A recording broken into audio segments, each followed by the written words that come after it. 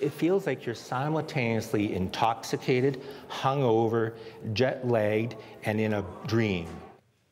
That disorienting and frightening experience is actually a common one for patients in Canadian hospitals. Each year in this country, 200,000 people who go to hospital may experience delirium, a big jumbling of the mind that can entangle your thoughts, your words, and have you seeing things that aren't actually there. And as Kas Roussy shows us, the key to tackling that problem may lie in understanding just how stressful a hospital visit can be.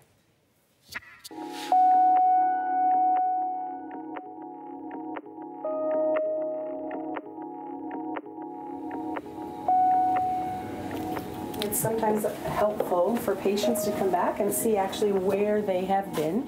Not everyone returns to a place that has caused them so much distress and does so voluntarily. But 53 year old Robert Van Herpt is part of a unique program to bring him back to a time when his life stopped making sense. His wife Joanne has joined him. 50% I don't remember, 50% I do. Yes. Yeah. Yeah. It was a big experience for your family, right? It was a real Yeah. emotional roller coaster, I know, for Joanne. Last March, Robert was having a bout of insomnia. A lifelong drinker and smoker, he'd quit both cold turkey. He was also on a new antidepressant medication. That's when he started seeing things, first at home and later in the hospital. The um, hallucinations were very drastic in the evening, um, overnight, and he was seeing things that weren't there. Oh, just really vivid hallucinations. At one point, he thought he saw a swarm of fruit flies. It was like, do you see that, Joanne? Do you see that? Oh, no, no, no. I said, and I honestly put my arm out and I said, I can feel them up against my arm. And it was, it was that, that true. Robert's family was told he was in the throes of delirium, a condition that baffles doctors and terrifies patients, young and old. They can see things that aren't there. They can uh, sort of experience emotions that uh, may or may not be real. Uh, they can have, you know, abnormal thoughts about the people who are uh, trying to care for them. Delirium happens when there's a change in brain function that can provoke a severe state of confusion. It can be caused by a number of things. Alcohol is one, but there are other factors. Someone can get mixed up and confused because of a pneumonia, bladder infection, a bout of heart failure, and that can be in someone's home, retirement home, nursing home. Hospitals are one of the biggest culprits. Noisy intensive care units can be disconcerting, and patients often can't sleep. At the Hamilton Health Sciences Center, a proactive approach is embraced with the aim to prevent delirium before the condition takes hold of the patient. Hello. Hello there, Hildegard. How are you doing today? Hey? The program is borrowed from the U.S. and called Hospital Elder Life Program, HELP for short. The Hamilton Hospital is the first place in Canada to adopt it. Every year 87 year old Hildegard Peach is in the hospital recovering from a fall she had at her home. Because we're going to say what today is, right? Today, Yeah. the eight. While she's here, a trained volunteer visits her and keeps her alert, aware, and active. Yeah. And you're right, it is the 8th. Simple tasks to keep patients grounded. So far, the program has helped reduce delirium at the hospital by 30%.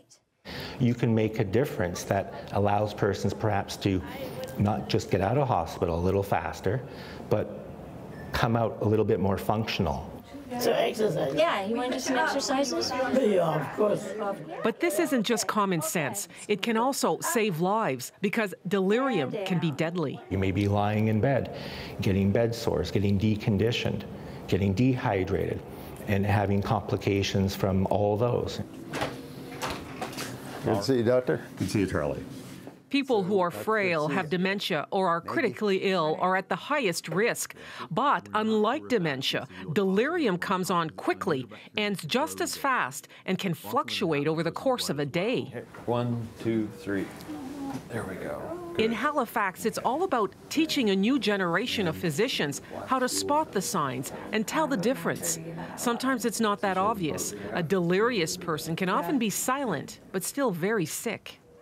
It's not uncommon for us when we're following patients through over a few days to find that there's something off, quote unquote, with them. If you can show them the, the many, many things that you can know from someone just by walking in, shaking their hands, uh, engaging in 10 seconds worth of pleasantries, usually that will motivate students to want to figure it out. And can you tell me today's date? Um, today's March um, the 5th, 2018. One year after his nightmarish experience, Robert still has some memory loss.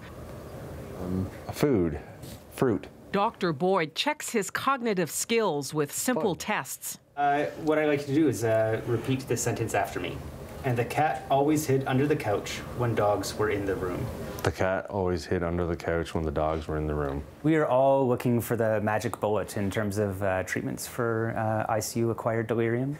So, really trying to understand uh, delirium, develop uh, better ways to prevent it, develop better ways to uh, treat it, can really, I think, make a huge impact on uh, long term recovery trajectories for our ICU survivors.